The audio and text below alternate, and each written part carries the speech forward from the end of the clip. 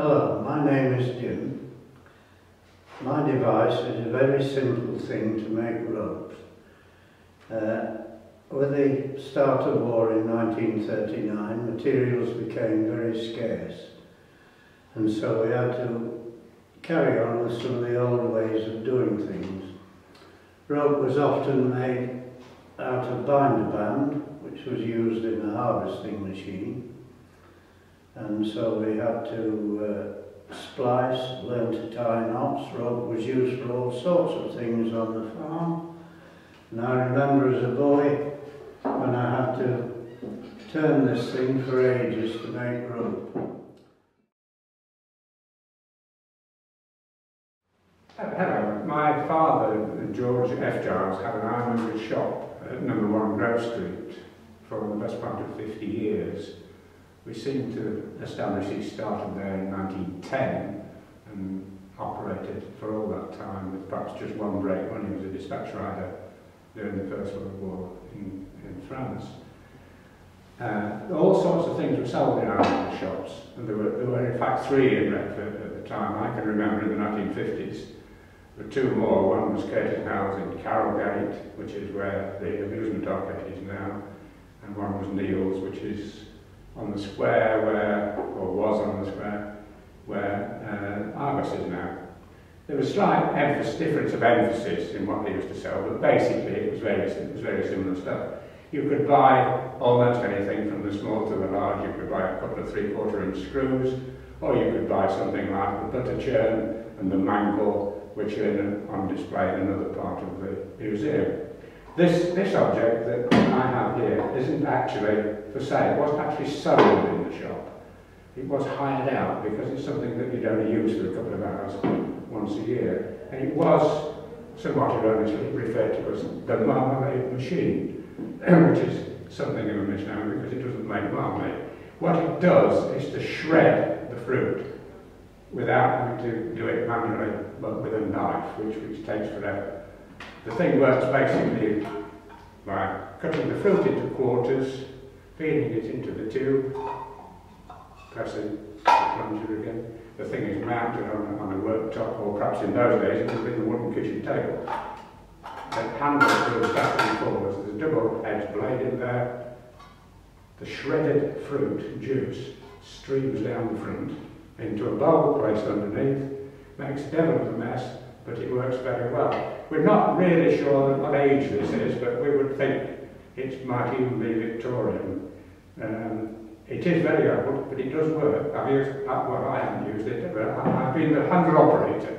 My, my mother and my wife have used it, and I, have just been hand operator. It's quite a good, good wheeze, really, because you don't have to do the clearing up. Uh, it, it is something that uh, you don't see very much of nowadays, and it, it, it, as I say, it is very, very efficient, but very messy. My name is Liz Meacher and the object I've brought to the exhibition is this green drinking bottle. And I remember when, as a child, this bottle would come with us on all our picnics um, with orange juice squash inside of it. Um, one of the things I remember mostly about it really is that I wished I could have had a disposable drinks container. I had to carry this with me all the day, um, even when it was empty. Um, somehow we've managed to keep it in the family and it's a fond reminder of school trips, days out to London Zoo and such like. And even though back then I wanted disposable throwaway containers, little did I know that 60 years later I'd be picking up the discarded containers that other people have used and finished with as I walk along the streets in Retford.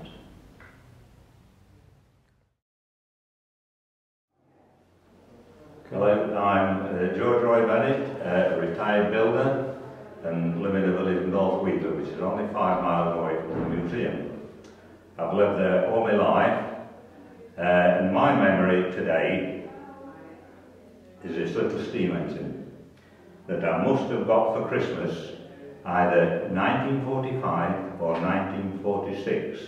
It must have been prior to 47 because my father died in October 47. Uh, and the, the list says that he found it on a scrap heap or somebody was throwing it away, and he got it and repaired it. The repair being, I feel, that this little methylated spirits uh, heating element was a, off a petrol can, a Pratts petrol can, and it with methylated spirits, light it, put it in, fill it with water through here, or hot water, so you don't waste so much fuel. Uh, and then when the steam is up, a bit of string from here to the bobbin, we'll just send the bobbin around. The reason it's a little bit of wood with a cotton bobbin is that my father was a thrasher machine engine driver and, had, and that represented the drum. And so just to make it a bit realistic for me, as a young lad of about eight or nine, he did that for me because I used to to work with him on a Saturday morning when I used to go thrashing. And this is my memory. And what a, a toy for a young lad at that age. Now, it's travelled out with me, we've moved houses two or three times, and my youngest son, who was about four, what is it now? I said, to the steam engine, can we get it going? Well, we got it going, and he just laughed his head off, sat at the kitchen table. Now, we've been up to see him a fortnight since, and I took this with me, and he's there sat at the table with his young son who's three and a half, and me at the table, and my wife took a, a video of it going, you know, and it was just a joke. Look at it go. See, Wow. see, see the way. She's away now, matey, isn't she? Yeah, see the way. it's really little, isn't it? Pardon? It's really little. It's really little. Now Really that was my toy as a little boy, and he said, didn't, he said, didn't Dad let me have a fire then? Yeah. so he watch out. Oh, well, you were nine. I was nine, say, nine, yeah, yeah. it is.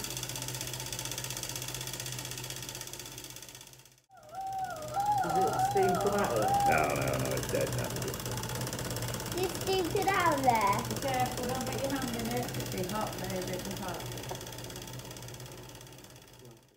And, and, and to get it going, because it had to go one way into the drum. Yeah.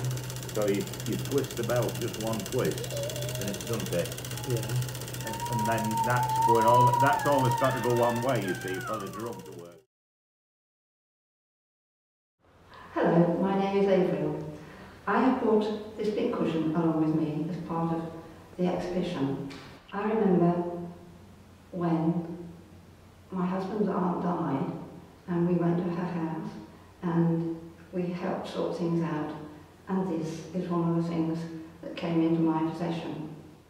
My husband's aunt was called Maggie and she lived in Queen Street and when I went into her house it was like stepping back in time.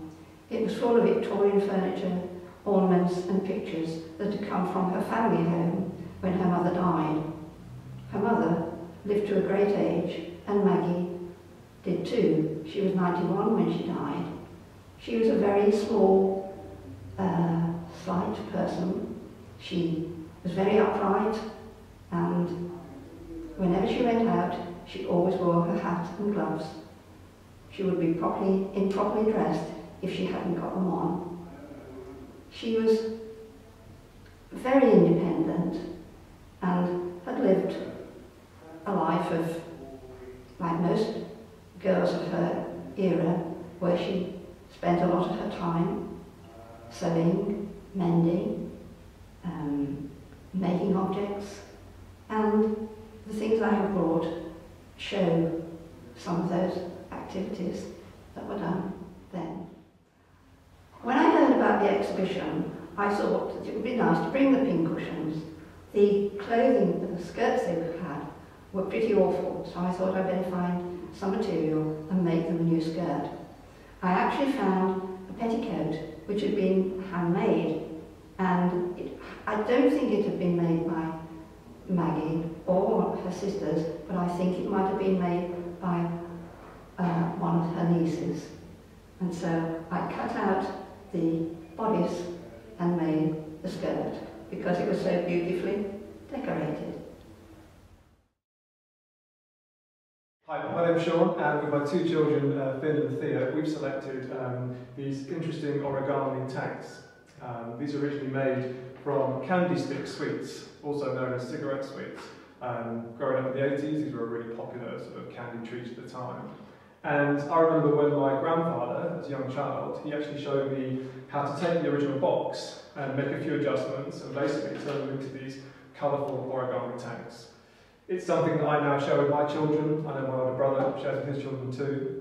Um, and it's just become customary to every time you see a box, turn them into one, even matchsticks boxes or, or anything in that respect. Um, we're not sure where my grandfather actually found this technique. We think it may have been in his service in the Second World War, where he would have taken um, cigarette boxes and turned them into these tanks. Um, he probably reappropriated it for me and my brothers. as a working visual artist, I actually then turned 100 of these into a, a visual art display in London. And it's just been really fun to share this. We thought that everybody knew how to make these, but it seems they don't. No one's ever seen them before, it's just a really fun object to share. Um, my grandfather spent his final years here in Redford, and these simple tanks have always been a great way to remember him. And I think it's really interesting actually that maybe it's not the physical heirlooms that we sort of um, share, but sometimes it's maybe a memory or a skill or a technique that's actually worth sharing and treasuring.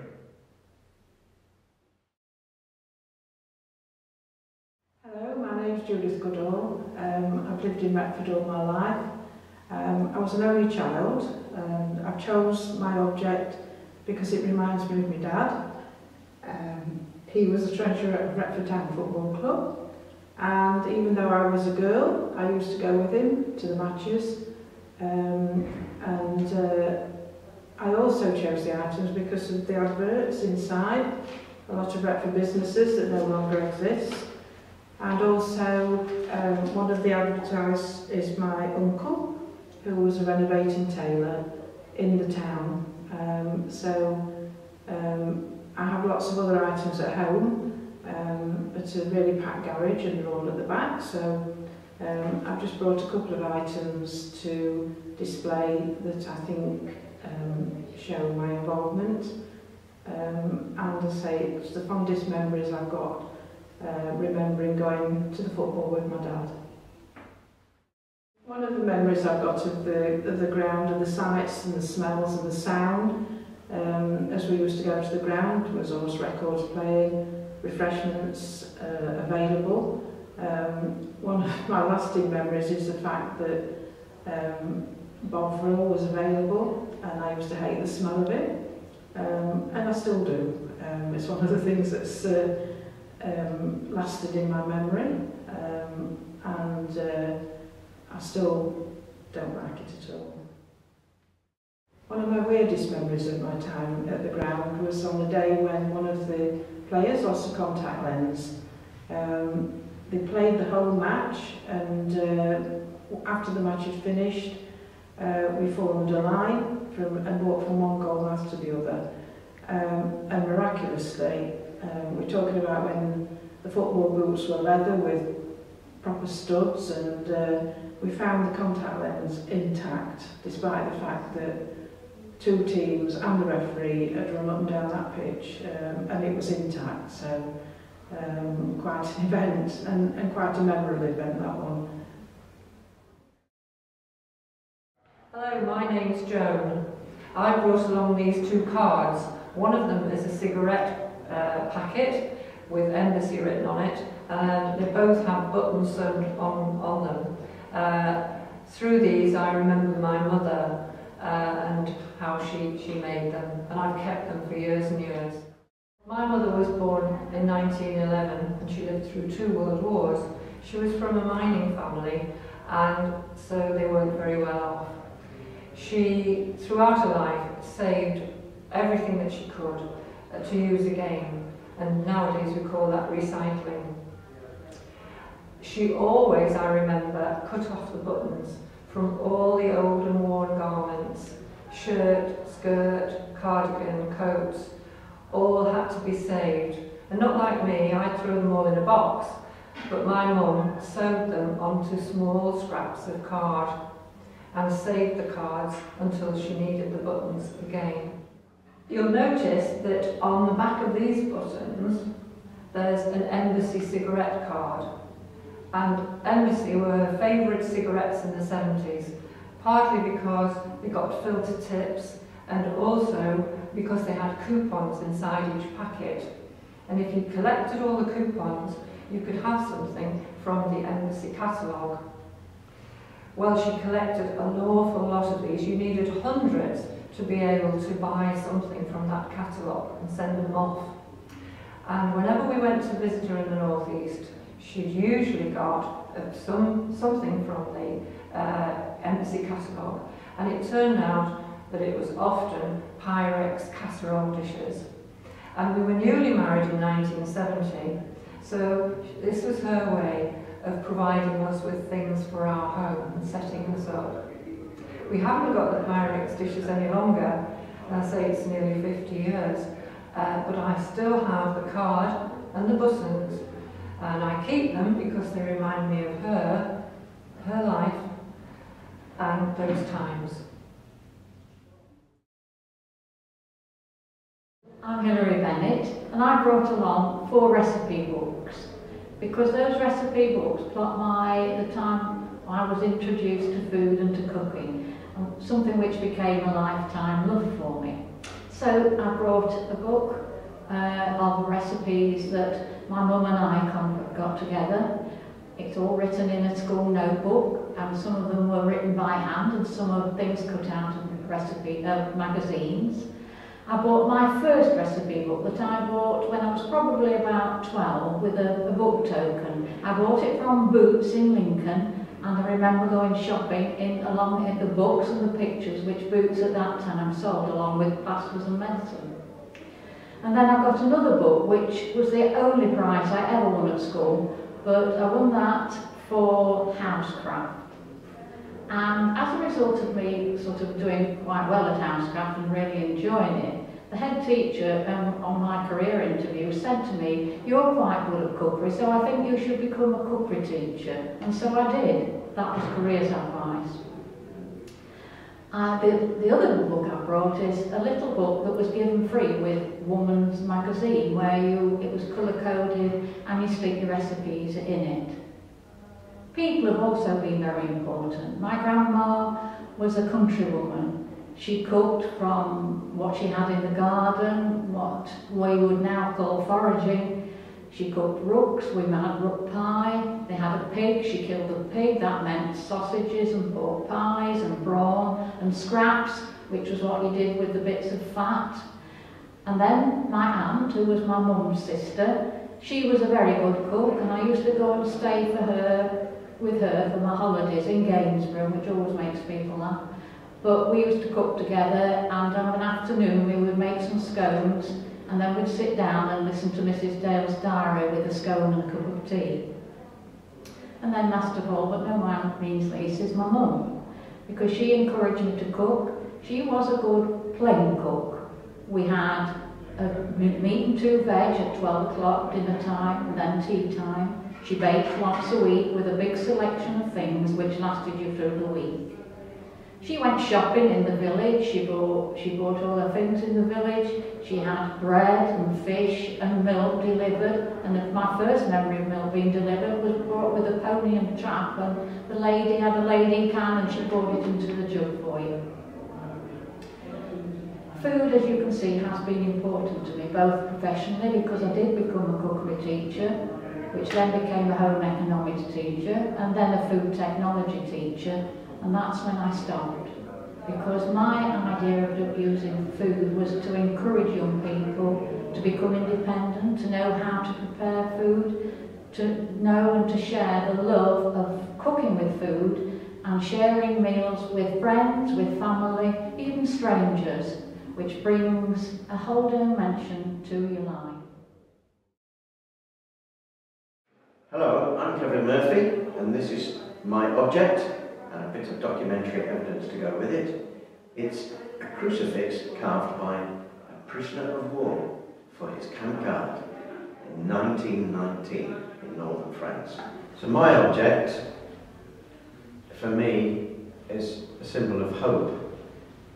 And I've had it since I was 11. When I was 11, I joined a junior seminary, which is a training school for children who want to be um, priests and in my case, a Franciscan friar in later life.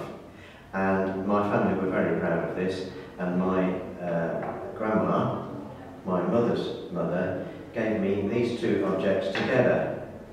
And they were what her husband, my grandpa, a card that he sent her from the front in France, and this crucifix that was made for him after the war. On the 9th of September 1916, he sent this card to Edith with fondest love, your Jim.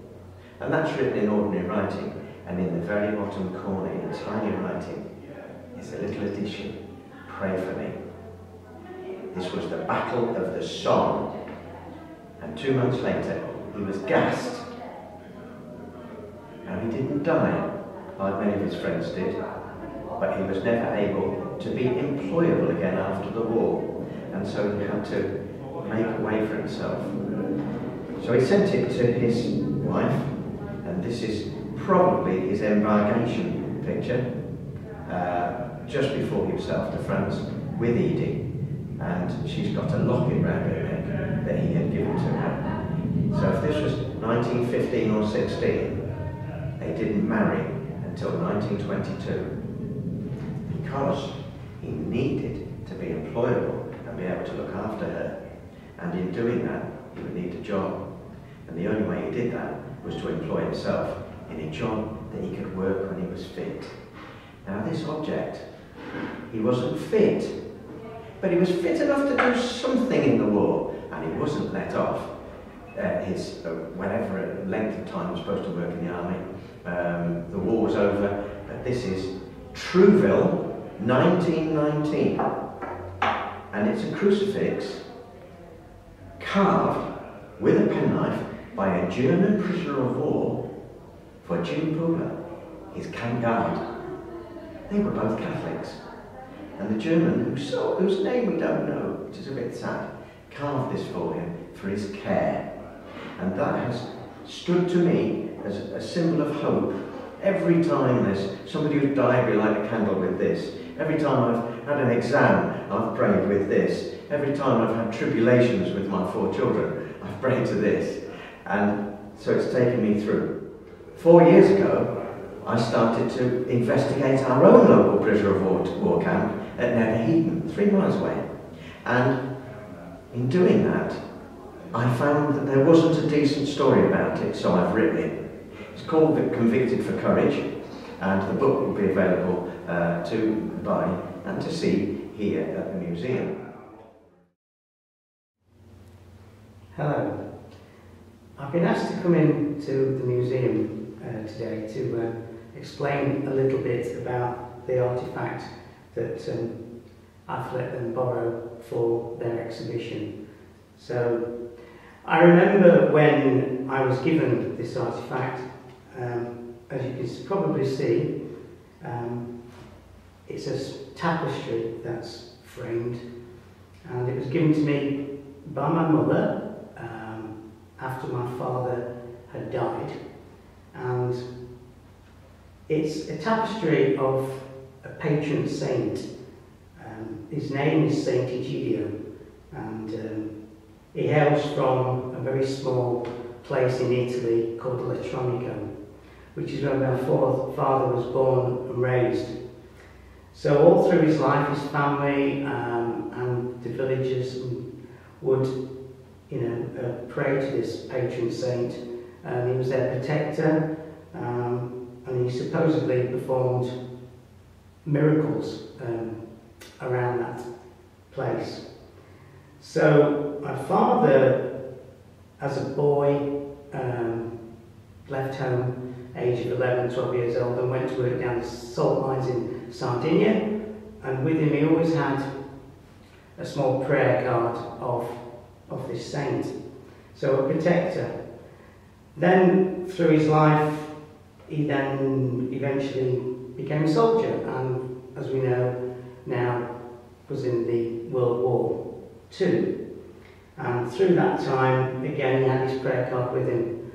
But there was a time when, as a prisoner of war, here very local, um, at Headon Camp, they were made to march from the camp uh, towards Newark and other places, crossing fields, crossing roads. And as he did that, um, troops, with the rest of the troops, he would sometimes look on the ground and pick up pieces of thread, um, any, any thread, and he would then put it in his pocket. Um, and what he used to do is when they were locked up at night, after sharing a blanket with one other, other um, prisoner, um, he would make it, he made this tapestry from just little bits of thread and uh, hoping that he could be protected while he was a prisoner of war. So I sometimes look at it and think, what an amazing feat that, that, he, that he did to be able to do that. And the accuracy of it is incredible. And I now think, if I remember that, if he only knew that when he was locked up and doing this of an evening and making something as precious as this, um, that eventually the world would eventually see it.